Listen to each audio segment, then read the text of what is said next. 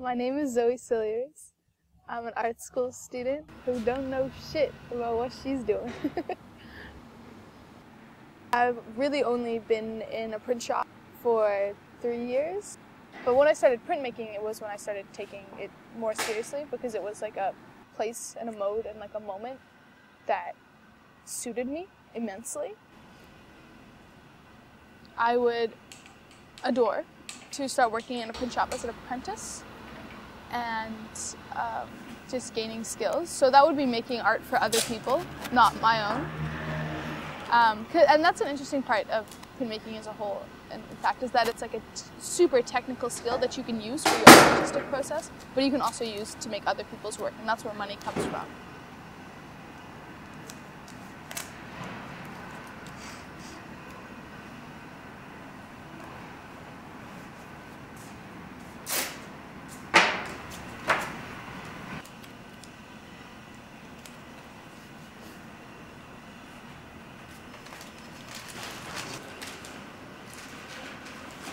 My mom's an artist, and as a result, I always grew up around art because it was always around me. It was never something special to do and to be a part of, you know? Like a lot of little kids, when they start like drawing pictures, their parents will be really surprised, like, wow, like our daughter's artistic. When I, I started drawing pictures, it wasn't like, that was, I was just like, oh, like, that, yeah, of course you would, you know? Like, it's around.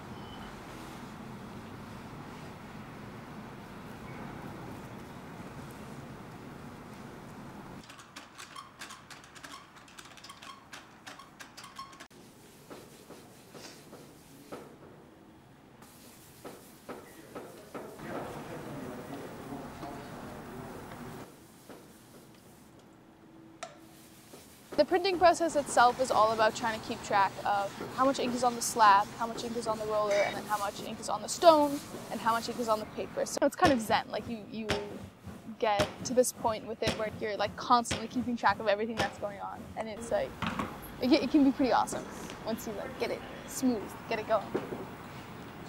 You want to get an edition of 10 prints that all look perfectly alike. And let's say I printed like 15, you know? Or like I printed 20. I have to throw out 10 of those because they're not perfect enough. Any, anything printmaking wise can just fuck up immensely. But sometimes those can be beautiful, sometimes they're not.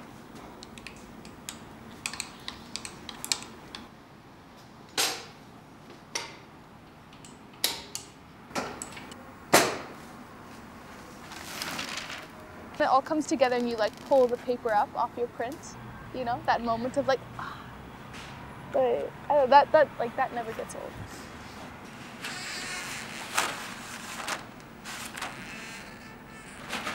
You have to love every part of your process. Otherwise, as a whole, it means less. Because that's an important aspect. I think of anything that has multiple specific ways of doing things. It's just like you you need to love everything that you do. You know, you need to make sure that every step of your process is interested and that you're invested in? Because if there's one part that you're not as much interested in like that won't turn out well. And especially printmaking every step has to be like spot on you know? You can't you know get lazy with one aspect but you really like i don't really like drawing on the stone but like i love etching it like well then it's not going to be good. You need to be continuously and constantly interested in what you do. I think that's important for like life not just a job